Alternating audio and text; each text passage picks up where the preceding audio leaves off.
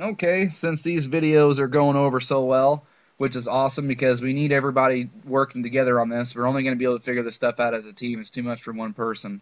Uh, I just thought it'd be fun to uh, add a little bit more to these artifacts. You know, that video I did with the artifacts showing the same event taking place over and over again. All these different cultures depicting the same thing. Some some uh, some people messing with CERN or the star they made unto themselves. The Amos 5:26 in the Bible talks about how underground somewhere these guys use some little toy or CERN or whatever you want to call it. And they smash light and they open a portal somewhere, and out come these monsters, demons, legions, Saturn, Satan, Nephilim, giants, aliens, whatever you want to call them, and they lock us down. And it's about bringing the return of the golden age of Saturn, or just basically, simply put, unleashing hell on earth. Right? So I thought it'd be kind of fun to use those same artifacts and just show them in a bunch of different movies. How it really is just the same story told over and over again, just just in a little just a little differently each time. Here's the Mayans. Here's Stargate. It's a cussing dead ringer. Here's the Phoenicians.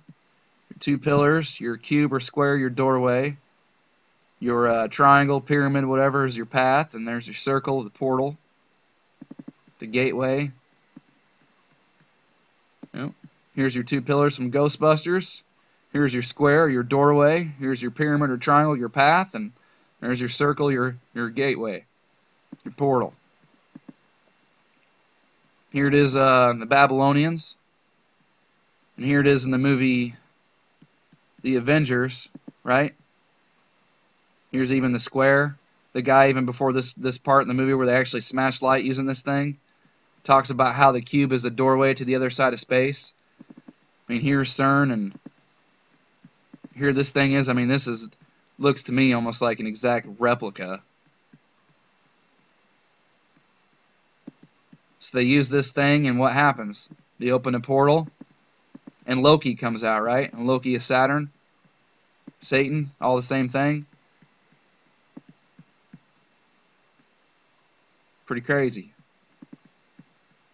And then um, here's the Assyrians, right? Showed us a big keyhole because that's that's what it basically is. You etch it out, looks like a big giant keyhole. That's why the Vatican set up that way because they know what's going on. Here it is in uh, in the new Thor movie. Thanks to the teammate for letting me know about this because I, I haven't seen this movie, but was able to get my hands on it and find it thank, with their help where it is in the movie, so I don't have to watch this whole big piece of garbage. But you can see it clear as day. Here's the keyhole right here. And it actually looks like it's inside a bigger keyhole. Right here's that, and then it comes down here. But there it is there. And what's funny is, right, this little, you see this little demon guy right here? Watch what he does with this thing. Watch what he does. What he do? Smashes it, breaks it, right? Because that's what's happened. They broke this thing, and now we're stuck. We're trapped in this merry-go-round over and over, redo, rerun, fractal, fractured, however you say it, whatever it is, reality, right? We just keep going round and round and round and round. Because just like Pink Floyd tried to tell us, we had one true light, one true source from the Creator, and then they busted it, and now we get this you know, mishmash of all this junk now that we see. Because we don't see everything clearly. That's why you have your your uh, you know your celebrities and your presidents, or they cover one eye, or they wink. It's because we don't see everything clearly because they busted this system, and now we're stuck. We're trapped here, just going round and round and round, over and over again, same thing.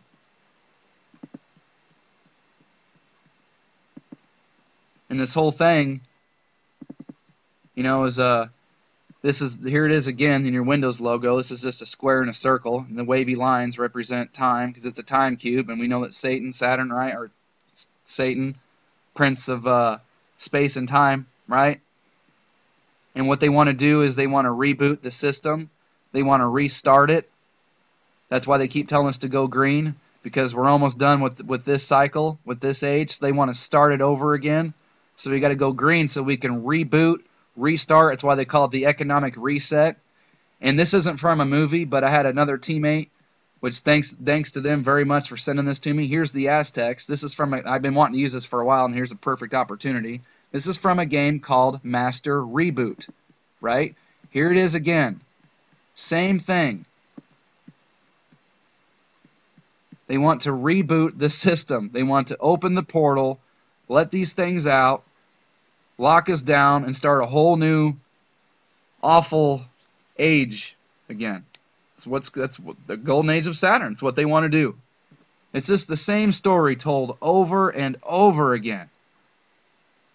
And then this one's great. This is from Occult Science before he shut his, ch- uh, his channel down. This this is awesome. This is an amazing catch. This is from Angels and Demons. There, smash light, boom. There's a portal opening up. Now you see this? Remember we talked about this. These are the fireworks. Remember, people are dum dums when every Fourth of July they're setting off fireworks because they are not celebrating their independence. What they are ce- celebrating is their enslavement. These fireworks resemble when this when this star broke, when it fell, when they broke this system and we got locked and trapped in this round and round and round reality that we're in. You see this smash light. Now you'll see a portal open up. And it is by no coincidence, because remember, this thing is all tied to Saturn. It's no coincidence that you see this come flying at you.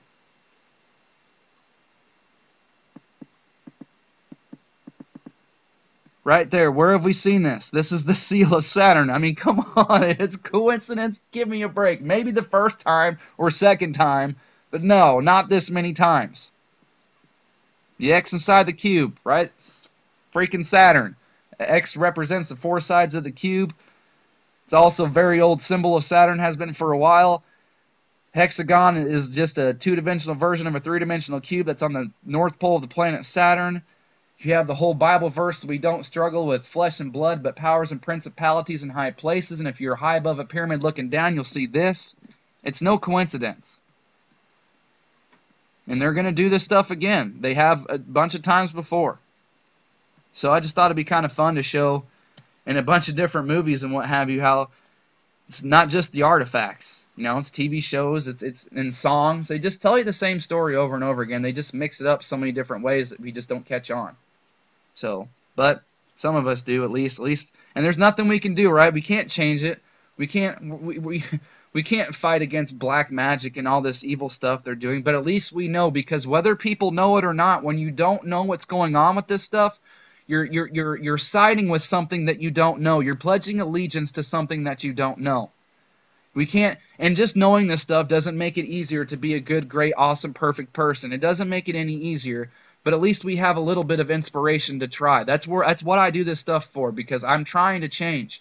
That's all I'm trying to do, and it's hard. I just woke up three years ago. You know, I'm 32 years old.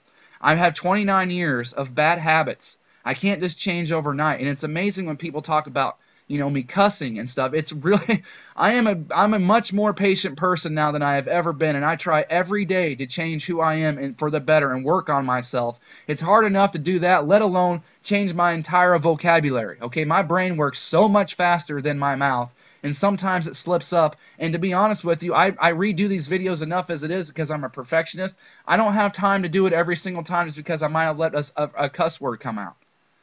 All we can do is try our best and to stay out of each other's business and to focus on the things that are important. Like this trick that they're trying to play on everybody.